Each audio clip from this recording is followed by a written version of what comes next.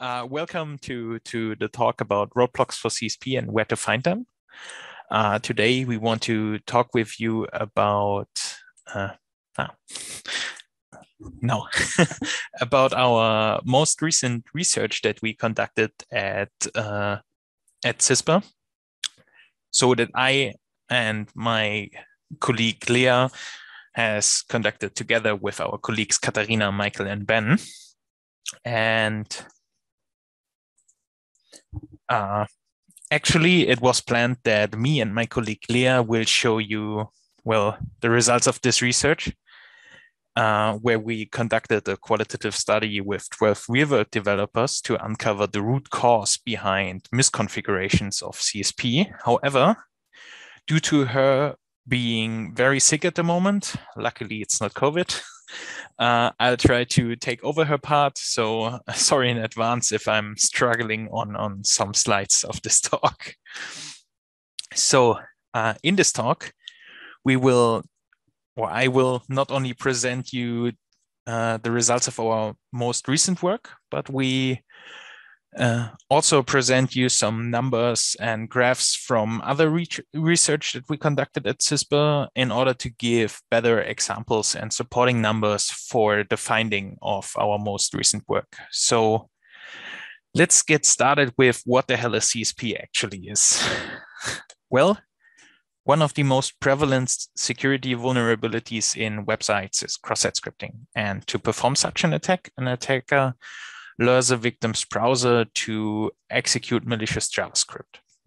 In the example here, you can see that the victim's browser is lured into issuing a GET request to a vulnerable service containing, and this request contains a script tag that loads a malicious script. This script tag is due to the nature of this vulnerability embedded in the response from the vulnerable server. Therefore, the browser will load the malicious script and execute the JavaScript code in the context of the vulnerable site in the victim's browser. So this malicious code is, is able to do everything uh, legitimate code is able to do. So it has access to the session IDs, uh, to all forms. So it is, is easy to steal credentials, hijack sessions, and the code is also able to perform state changing actions in behalf of the user and do many more harm. Uh, that's where uh, CSP, oh, that's where CSP kicks in uh, to mitigate the effect of those markup injections.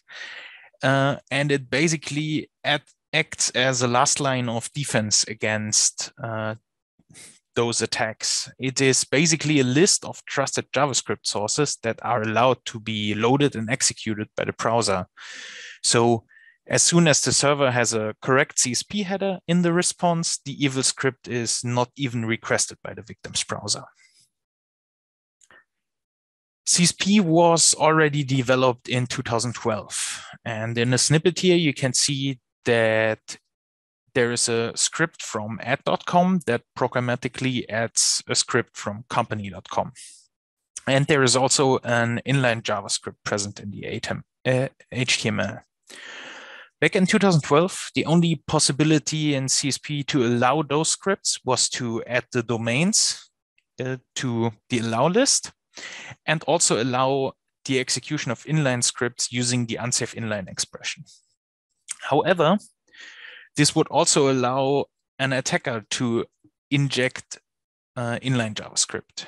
Therefore, in 2014, they added support for nonces to the CSP standard. And by embedding such a nonce as an attribute to a script tag, as you can see it in the code snippet here, we can now allow trusted uh, script tags to be executed. So we can also whitelist allow uh, inline scripts to be executed. However, ad.com still adds company.com programmatically. Thus, it's we still need to allow this domain in addition to the nonce in our CSP allow list. In 2016, they then added support for the strict dynamic source expression. Uh, this expression basically automatically uh, propagates the trust to scripts that are added programmatically if they were added from already trusted sources. And therefore, we don't need to put the uh, company.com domain in our allow list. As you can see, the CSP standard has evolved over the course of time. But in addition to its original use case, the restriction of script content, CSP has evolved into a multi-tool for web security purposes. Nowadays, it can also restrict a plethora of other different content types, such as images, styles. It can restrict the capability of an attacker to exfiltrate the stolen data, for example, via restricting the targets of the XHR or Fetch API, NCSP is also capable of controlling framing behavior and enforcing secure network connections. So let's take a look on how the adoption of CSP has increased since its release. In a previous work, we took a look at the CSP adoption of the historical top 10,000 websites.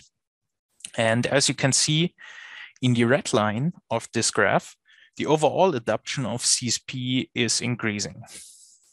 And more than 10% of the top sites are currently deploying CSP. Also, the usage of new features of CSP in CSP level 2 and 3 is increasing. So everything looks okayish, right? Well, if we take a closer look at the deployed policies, only less than half of them actually deploy a CSP that tries to mitigate the effect of cross-site scripting. And even worse, the vast majority of those sites use expressions that make their policy trivially bypassable by an attacker.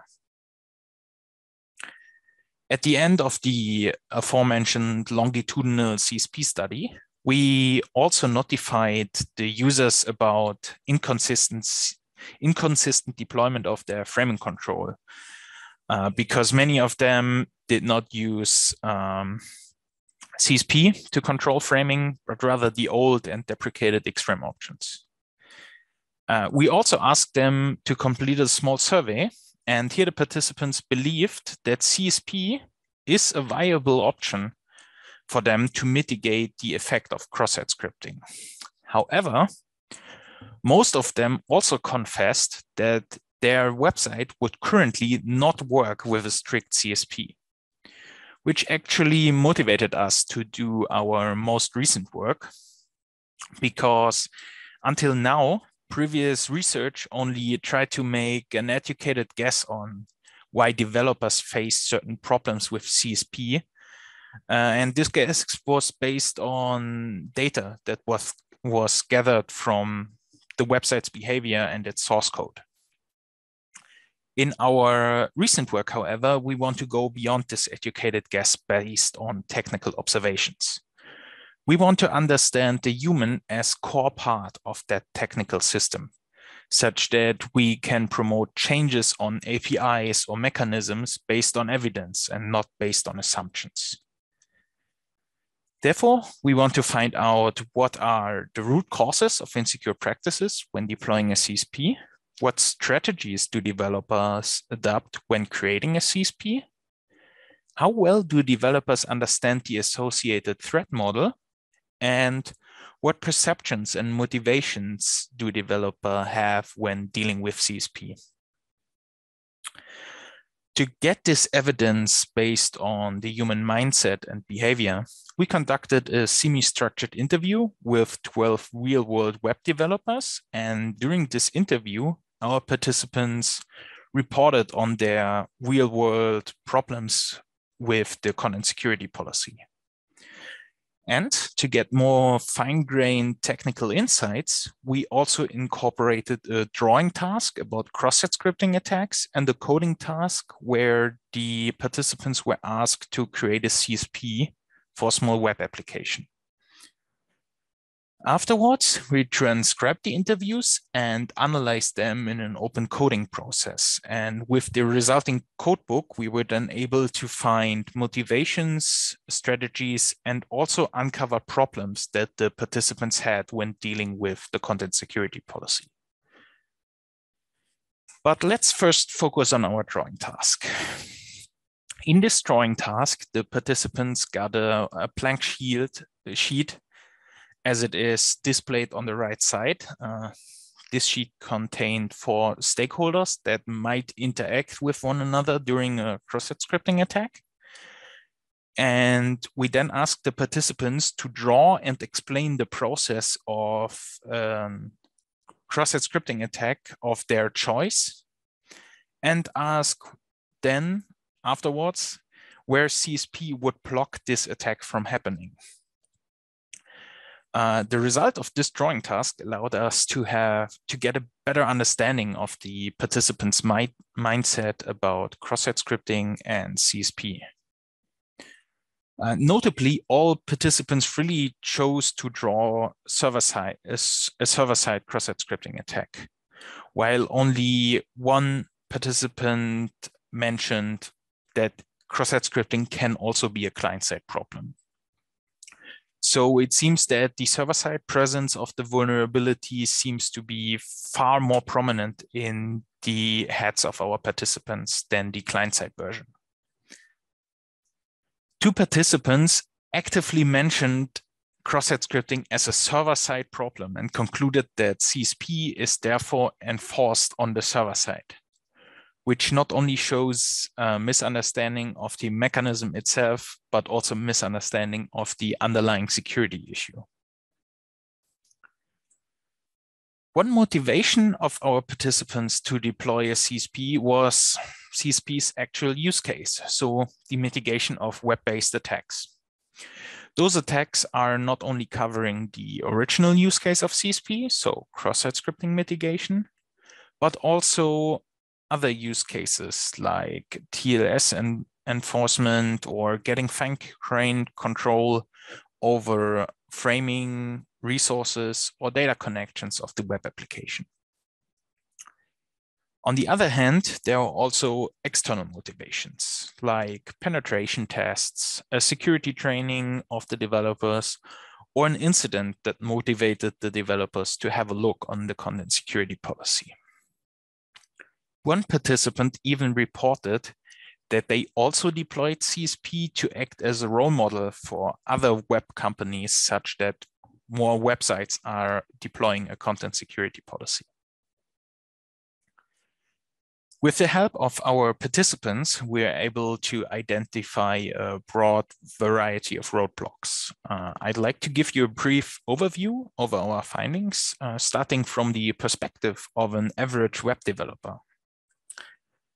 So CSP is a rather complex mechanism and nobody knows everything. Therefore, the developer might have uh, knowledge gaps or misconceptions regarding CSP. But let, let's take a look on how complex CSP can be in practice. In a study published last year, we were able to take a look on how CSP has evolved over the course of time. And this longitudinal lens allowed us to take a closer look on the development cycle of CSP in real world web applications. In this case, it's Airbnb's journey to a secure CSP. They started with a policy in report only mode and uh, that, that's that's already good because that's the way to go and they started in November 2014 with 17 entries in their script source. In March 2015, they then added the whole HTTPS schemata uh, to their default and script source, while their policy is still in the report only mode. Probably they have done this because of too many violation reports uh, that they gathered using the report feature. In May 2015, they then switched from the report only mode to enforcement mode. However, the whole HTTPS schema was still present in the allow list. Nearly two years, uh, more than two years and 222 changes later, in December 2017, their white uh, their allow list has grown to 32 entries, while the HTTPS schemata is, is still one of those entries. At that point, they started to experimenting with a secure report only policy on single days. And every time they has they have done those experiments, they added more domains to the policy. And in January 2018, they first tried to enforce their new policy. However, they added the HTTPS schema again after less than one day, probably due to some fatal errors that occur in their, occurred in their app. And then finally, in March 2018, they had a second try to enforce a secure CSP and they finally succeeded with that. So as most of you know, Airbnb's main business is their web presence. And it is a big company, but still they needed three and a half years to secure a CSP. So CSP deployment is arguably very complex, even for big companies probably because big companies have big applications. Uh, but yeah, let's get back to our average developer. Um, and this developer, due to the knowledge gaps, uh, might start an online search to get more information about cross-site scripting attacks and how to build a proper CSP. Or as we all do during the development process, we search for a certain error message that is displayed in, for example, the development console. However, the resources that are available online often lack a bigger picture of the underlying issue. And uh, in worst case, the developer even finds misleading claims or receives wrong suggestions how a certain problem can be fixed, as you can see in this Stack Overflow screenshot. Another problem in the mindset of some developers is that security is built in into their framework. And also some developers think that security is only something that is optional. So security is only a nice to have feature in their mind.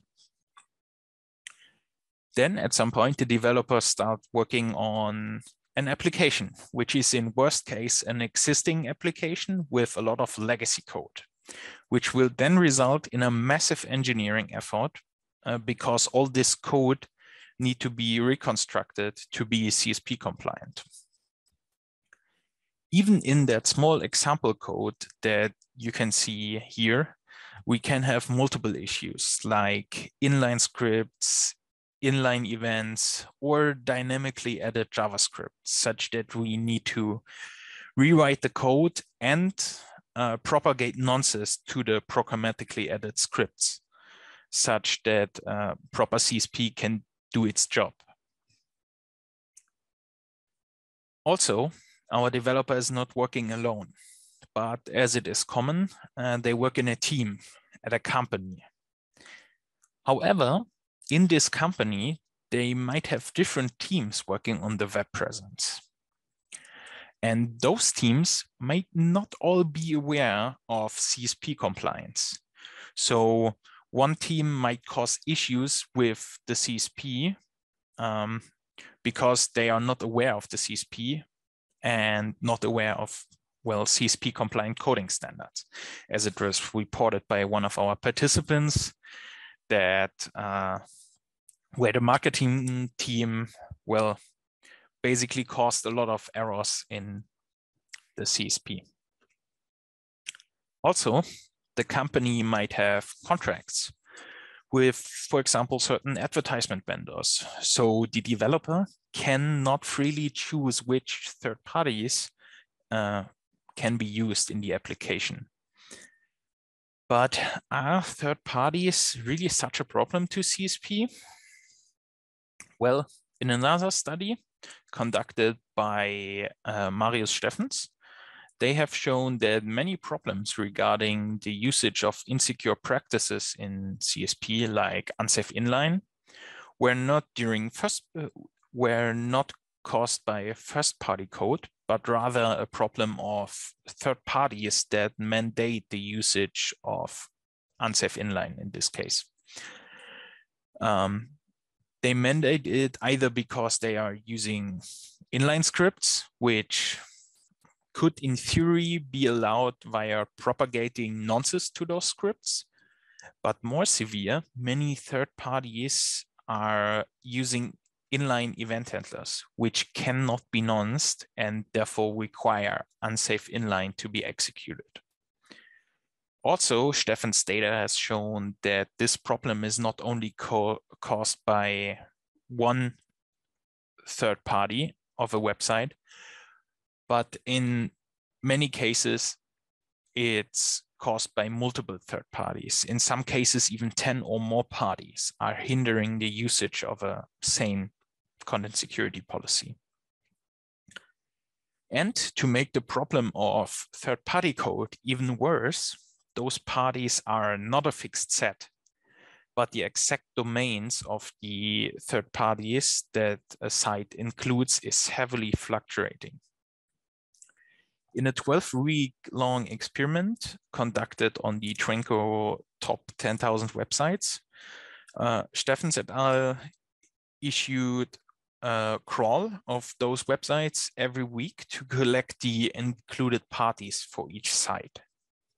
Of those 10,000 websites, about 8,000 actually were dynamic pages, so pages that uh, actually contained JavaScript. After the first week, uh, the researchers noticed that nearly 3,000 new hosts uh, were, were added, approximately half of them originating from third-party inclusions. And even uh, and even at the end of this 12 week long experiment, more than 1,500 new hosts were added, which makes a CSP a host-based CSP very hard to maintain. But even if all stars align and the developer can build a proper CSP, the different browser implementation and insufficient uh, console messages and false positive violation reports caused by browser features or extensions can make the deployment harder as it need to be. For example, at the time where we conducted this study, participants complained that Safari is not supporting the strict dynamic source expression, probably due to security considerations. However, in the meanwhile, they have added the support for the expression. Also, the level of detail provided via messages in the developer console is inconsistent. Chrome is providing far more information about violations than, for example, Firefox does. But there are even more inconsistencies. For example, WebSockets are sometimes in some browsers counting into the safe uh, self source expression, and in other browsers that it does the protocol does not count. Uh, some browsers support the unsafe hashes source expressions, and some browsers do not support them, but use this behavior as default behavior.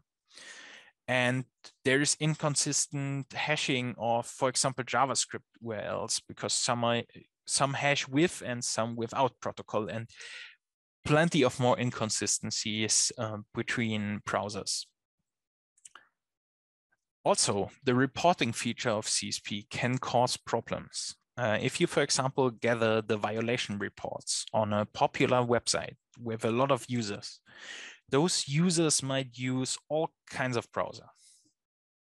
In some browsers, built-in features can cause CSP violations and therefore trigger false positive violation reports. But not only the browser itself can cause violations. Uh, also, the users might have installed all kinds of extensions and plugins that interfere with the application and cause false negative reports, uh, false positive reports. Depending on the amount of visitors that the website has, it may not only lead to many false positive reports that are hindering the uh, detection of actual problems with the CSP configuration. But one of our participants even reported a case where the amount of report reports actually caused a denial of service against the own server. So one lesson that you can learn from that, don't host your reporting infrastructure on the same machine as your web presence is running. during the interview, but especially during the coding task, we have seen many different strategies how certain problems with CSP uh, can be uh, mitigated. For example, in the initial deployment of CSP, some of the participants uh, start with a policy and report only mode. In this mode, the policy is not enforced, but violations are reported to the developer. Others, however, tend to start with an enforced CSP, which then results in a loss of functionality in some parts of the application. Also, uh, tools for the initial deployment, for example, to start with a generated allow list for the CSP, were often mentioned or used during our study. Principles for CSP deployment were also presented by our participants. Uh, some tend to use one general CSP for the whole websites. Uh, others used separate CSPs for individual pages, sometimes also deployed as HTML meta tags. Because they have done this because the requested resources for each page are different. Also, the usage of the report only uh, mode of CSP to get reports from the live users of the application was mentioned as a common way to find issues with the CSP.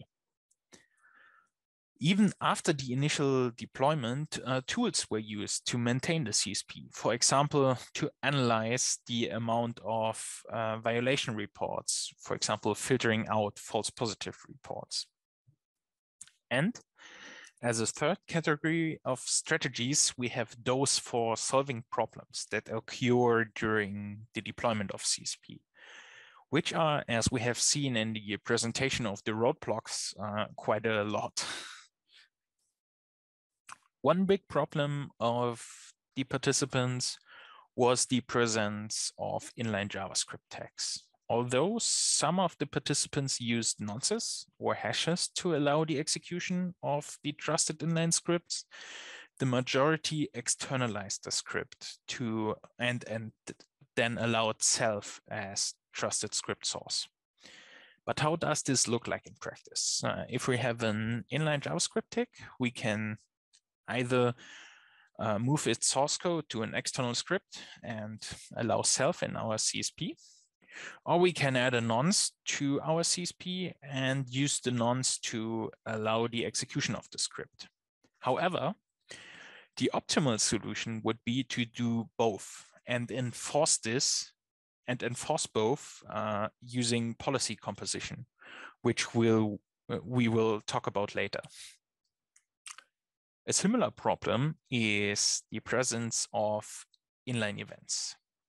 However, here nonces are not an option, which is why most of the participants externalized the events and added them programmatically. Still, some of our participants used rather new features like unsafe hashes or script source attribute or the script source attribute directive to allow inline events. But let's take a look on the most common solutions here as said, we have to add the event uh, to the element programmatically. And thus we have to create a script that gets a handle to the targeted element, for example, via the get element by ID function, and then programmatically add the event using the add event listener API. Uh, this code snippet does then need to be allowed in the CSP, for example, via a nonce. Again, the better option is to uh, do this programmatic addition not in an inline script, but rather in a nonced external script. Another big problem was the presence of third-party code. Uh, here, the participants either allowed the third party as a trusted source, they self-hosted the loaded libraries, or they nonced the loaded uh, scripts, or some even remove the dependency for the library. However, this was uh, only possible because our small web application is well, only a small web application. And as we have seen earlier, um, it is sometimes not possible to solve issues introduced by third parties. Therefore, in worst case, uh, you need to give up a certain level of control or even allow the execution of inline resources if your third party is not CSP compliant. So in general, if you want to deploy a CSP for a web application, um, the best way how you should start is deploying a CSP in the report only mode, such that you, well, don't cause fatal errors in your application. Also, you should use a nonce-based policy uh, if need to be with strict dynamic um, those should be preferred over host-based lists because a nonce-based CSP is easier to deploy and easier to maintain. If you start a new project, the whole application should be built with CSP in mind from the beginning, such that stuff like inline scripts and inline events are not happening. So you should thread CSP as an integral integral part of your development lifecycle. Also, for new applications, you should choose your third part. Uh, you should choose your third parties with care. So, uh, if possible, only choose third parties that are CSP compliant. But if you want to add a CSP to an existing application, you should take care of the issues one after another. So if your setup or framework supports the use of nonces, you should use nonces for all assets. Um, even if it is not supporting nonces directly, uh, if you can, for example, in your backend, generate random numbers and pass them to your HTML renderer, it you you can basically create the nonce support yourself, and you should use nonces for all your JavaScript assets. But if for some reason, for example, a WordPress plugin is non, not compliant with nonces and therefore uh, you cannot use a nonce-based CSP. Uh, in such a case, you should uh, allow the third parties with a full URL. And uh, as we have seen earlier, you should move all your inline scripts and, and inline events to external scripts such that you can arrive at a, a sane CSP. But for those of you that already deployed a sane CSP, we want to encourage you to take the next step, hardening your policy. But why is this actually necessary? Many of you know from other CSP talks or blog posts that there is there is a plethora of ways how you can bypass a host-based uh, list because uh, one of the hosts you allowed uh, has JSONP endpoints. They might host libraries that contain script gadgets. They might be susceptible to open redirects and so on. Uh, however, also nonce-based policies can be bypassed, uh, can be stolen, sorry.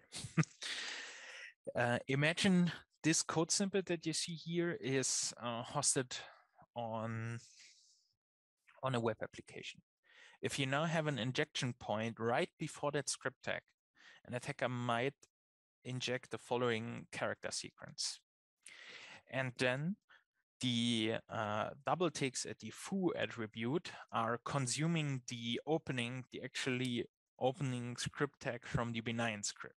And because HTML parsers are very error tolerant, this benign JS double ticks is just seen as garbage that you can throw away. And the resulting code is then a script with a weird foo attribute that loads a script from attacker.com.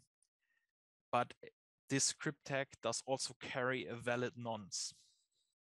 So as you can see, also nonces can be stolen. So assuming uh, you already deployed one sane CSP, either host or nonce-based, the best way to harden this CSP against the aforementioned attacks is to deploy an additional CSP. The reason why this actually works is that all deployed CSPs are enforced by the browser simultaneously. Um, so if you have an one CSP that uh, uh, enforces the nonce, uh, nonces to be present on scripts and another CSP that only allows self and advertisement.com as valid sources, uh, a script in your application must originate from one of the trusted sources and at the same time also carry the specified nonce.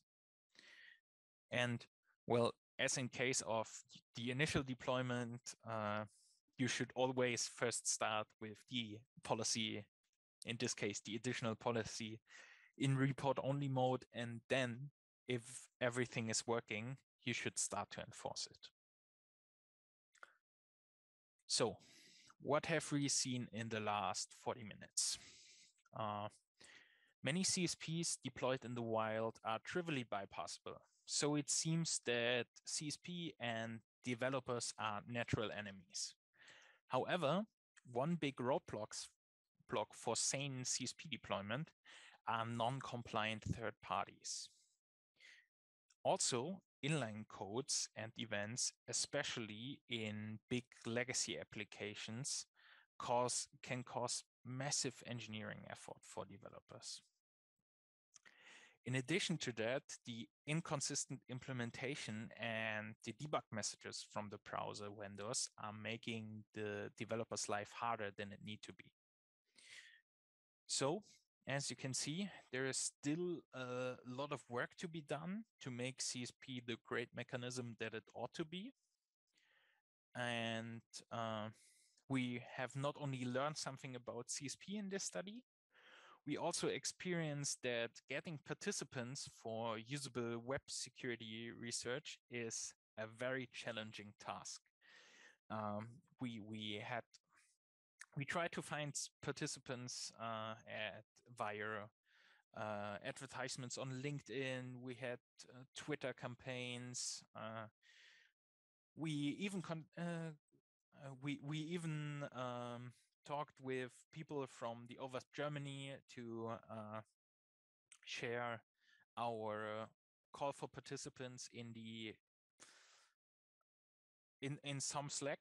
I don't know whether it was the uh, Slack of the whole OWASP or if they have an internal German OWASP Slack, but so we have tried many ways of, of getting participants and we have more topics in our research area that need to be explored. So if you are interested in helping us improving the state of the web, please scan this app or visit survey.swag.cispa.saarland and well, help us improve mechanisms like CSP.